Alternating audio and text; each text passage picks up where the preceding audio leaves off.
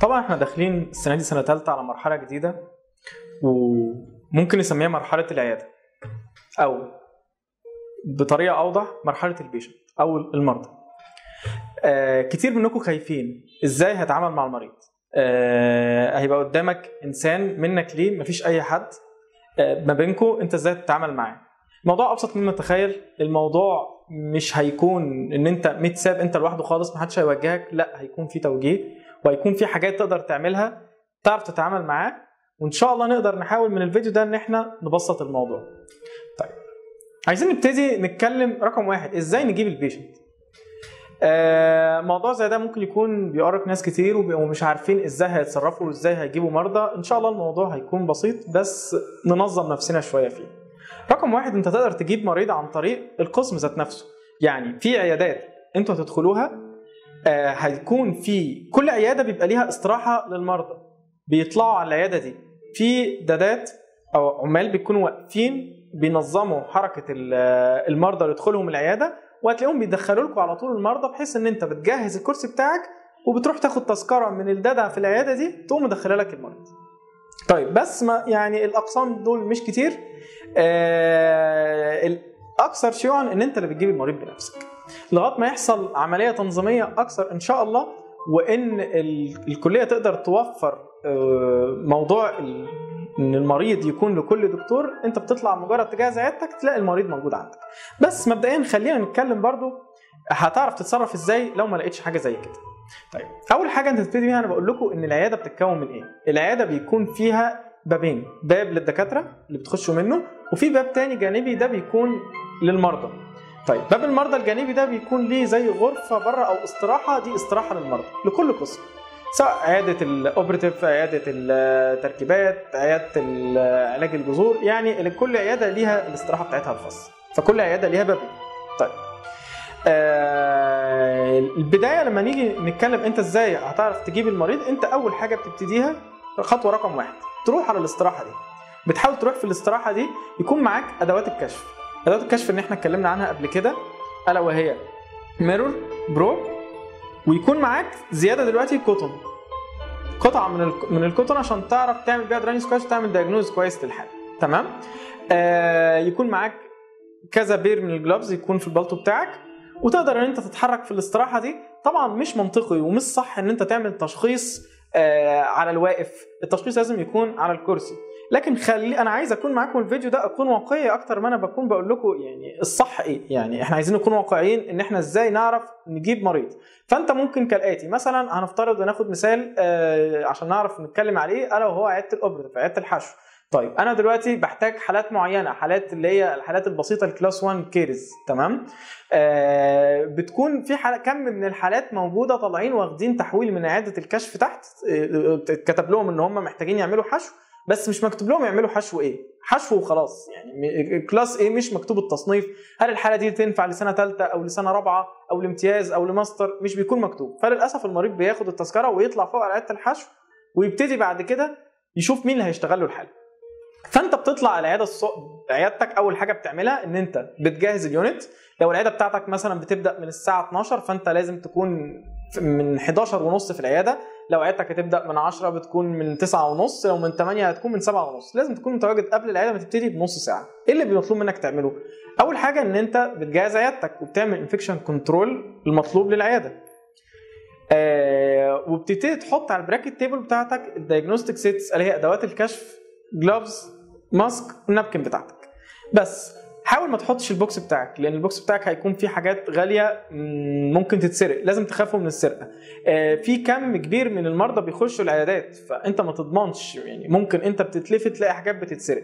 طبعا الموضوع مش عايز أخوفكم منه جامد مش مش مرعب لكن تكون محرص على حاجتك ما تحجزش بحاجات ثمينة احجز بحاجات خفيفة. لا قدر الله ضاعت حد اتلخبط وخدها حصل أي مشكلة ما تبقاش فيه مشاكل هتحصل. طيب بعد ما حجزت العيادة تبتدي تتوجه للاستراحة دي. وتبتدي تشوف آه يا إما بمساعدة دكتور امتياز أو أنت بنفسك بتحاول تشوف مين فيهم مين فيهم عايز يحشي بتحاول تخلي المريض يفتح بقه وبتشوف. آه بتحاول تشوف إن كيرس بسيط تلاقيه موجود خلاص أنت طبعا مش بتبقى متأكد 100% هل الحالة دي تنفعك أو ما تنفعكش.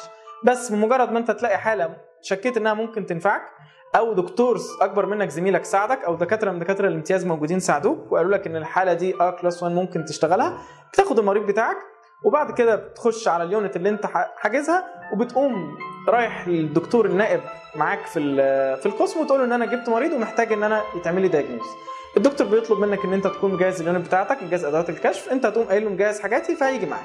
هيجي يبص على الحالة.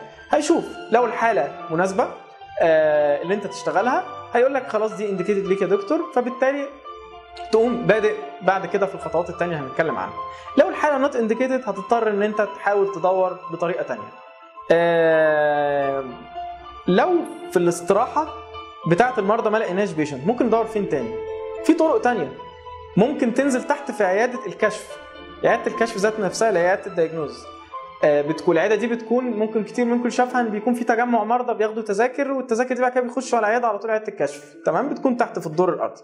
بتخش عيادة الكشف دي وممكن من خلالها إن أنت لو تعرف دكتور امتياز تعرف دكتور في سنه سنة رابعة يحاول يساعدك إن أنت برضو يجيب لك patient على طول يقول لك تاخد الحالة من مصدرها وتطلع بيه فوق على العيادة ونفس الفكرة توريه للدكتور النايب اللي معاك وتخليه يشوف لك الحالة تبقى indicated ليك ولا مش indicated تمام؟ طيب طبعا برضو أنا عايز يعني أتكلم وأقول إن ده الموضوع أكيد ما فيهوش نظام إن أنت تخش في عيادة الكشف وإن مش منطقي إن لو كل واحد عمل كده يبقى كلنا بنكشف في الشارع. ده مش شيء صح. بس آه إحنا بنحاول نواكب الموضوع. لو القسم عرف ينظم الموضوع وعرف ينظم في عيادة استراحة المرضى يقسم الحالات يقول الحالات دي سنة ثالثه الحالات دي سنة رابعة الحالات دي امتياز ده هيكون أفضل. لكن أنا بتكلم لو ده ما نفعش فأنت مش منطقي برضو إن أنت مش هتشتغل وهتفضل كل عيادة كده مش هتعرف تشتغل. لا. فإن أنت تحاول إن أنت من عيادة الكشف تقدر برضو تجيب مريض. بالصدفة. انت ممكن بالصدفة الكلية مليانة مرضى. يمكن قبل كده السنين اللي فاتت ما كنتوش بتاخدوا بالكم منهم قوي أو مش في اهتمامكم لكن السنة دي انت هتلاقي طول الوقت واحد عايز عايز أخلع يا دكتور عايز أحشي يا دكتور. فممكن ببساطة لو انت لقيت الحالة ممكنة وأدوات الكشف بتاعتك في إيديك ومعاك الجوانتي على الأقل مش شرط حتى ال mirror وال probe ممكن على الأقل قطعة من القطن والجوانتي بتاعك. تمام؟ وده يعتبر كشف مبدئي جدا جدا جدا إن أنت تطلع بيه وتعمل الكشف الصح فوق في العيادة. طيب هل في أماكن تانية تقدر تجيب منها؟ آه. في دوائر تانية تقدر تجيب منها. آه بإمكانك إن أنت يكون ليك معارف أكبر منك دكاتره دكاترة زمايلك أكبر منك دول يقدروا يفيدوك. آه كتير جدا ممكن يكون دكتور في سنة رابعة بيشتغل حالة تركيبات.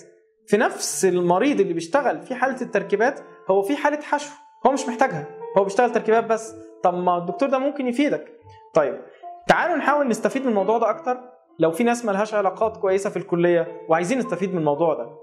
في فكرة لذيذة جدا ممكن إن شاء الله مع اتحاد الطلاب هنعملها على الجروبات بتاعتنا وإن إحنا نعمل بنك من ال patient يعني لو فرضنا على جروب كلية طب الفم والأسنان ممكن نعمل بنك من من المرضى بمعنى إن كل دكتور سواء دكتور في سنة ثالثه سواء دكتور في سنة رابعة سواء في امتياز أو في ماستر اشتغل حالة معينة. ولقى ان نفس المريض ده محتاج يعمل حاجة تانية.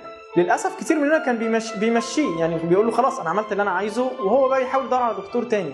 طب ما تعالوا نساعد بعض. أنا ممكن أكون عندي حالة تانية أنا كمان ومش محتاج أعمل الحالة دي. أنا أنا وقف قصاد أنا مريض تركيبات وأنا مش عايزه أنا عايز أعمل حشو.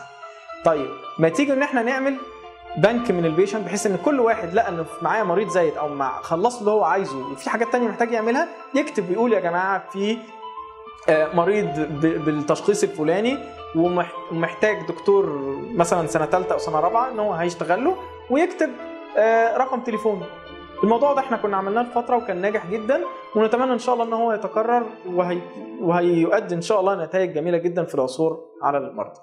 طيب في طرق تانية طبعا. في طرق إن أنت ممكن تكون مرضى خارج الكلية. بس ما انصحش إن أنتوا من دايرة معارفكم إن أنتوا تبتدوا تجيبوا حد من خارج الكلية. حد هيقول لي أيوه عشان ما أتعلمش فيه. لا أنت ما بتتعلمش في المريض بتاعك. المريض اللي أنت تشتغل عليه أنت مش بتتعلم فيه. أنت اوريدي متعلم جاهز.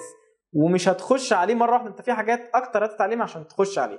وتقدر تشتغل وتمانج المريض بتاعك كويس. لكن الفكرة من كده إن أنت ممكن تكون ثقتك في نفسك مش قوية. فثقتك في نفسك اللي مش قوية ممكن ما تظهرها يعني للمريض اللي انت هتشتغله في القصر العيني لو ظهرت ليه مفيش مش... مفيش مشكلة مش هيشوفك تاني بعد كده. لكن لو جبت حد من دايرة معارفك وشافك مهزوز شافك مش واثق شافك بتسأل كل شوية ودي من الحاجات اللي هنتكلم عنها انت إزاي تتعامل مع المريض؟ انت لازم هتسأل كل شوية. فهو ممكن يبتدي ياخد عنك فكرة إن انت لا ده انت لسه بتتعلم.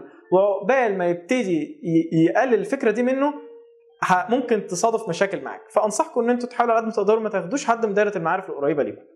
لكن لو تعرفوا ناس من معارف من بعيد ممكن إن أنتوا تحاولوا تساعدوهم وتشتغلوا لهم. لكن نأكد على معلومة إحنا مش بنتعلم على مرضى.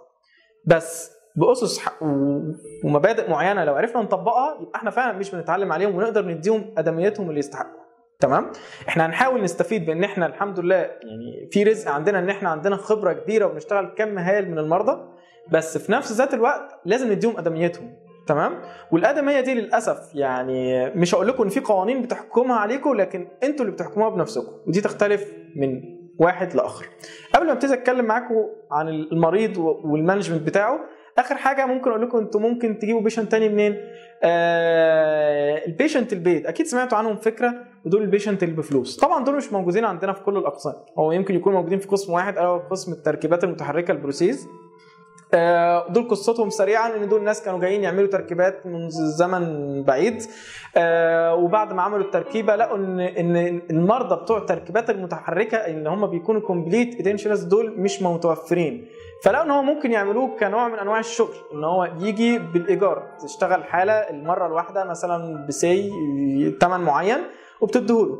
طيب آه أنا ما أقدرش أقول لكم بلاش ال patient دول خالص. أكيد يفضل إن أنت ما, ما تشتغلش بالطريقة دي لكن ال requirement المطلوبه منكم بتبقى كتيرة. ف أنا عايز أقول لك إن أنت دور دور على حاول تدور بنفس الطرق اللي قلنا عليها. حتى لو من دايرة معارف بره مفيش مشكلة بقى في حتة ال complete dentures دي بالذات تمام؟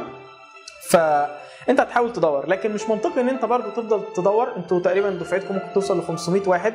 مش منطقي ال 500 يفضلوا يدوروا فبالتالي هتلاقوا عدد كبير جدا مش هيلاقي ومش عارف يشتغل وممكن يحبط. لا دور بس وانت بتدور اشتغل مع مع patient paid مفيش مشكلة اشتغل بيه حتى لو اشتغلت مع واحد بس عشان تبتدي تشتغل وتحس باطمئنان في أول السنة إن أنت ابتديت تشتغل في ال requirement بتاعتك وفي خلال ما أنت بتشتغل له دور على patient unpaid طيب. لكن مفيش أي قسم تاني فيه patient paid هو ده بس ال- القسم الوحيد وده يرجع لعدم توفر يعني عدم توفر كثرتهم ال patient ال complete edentulous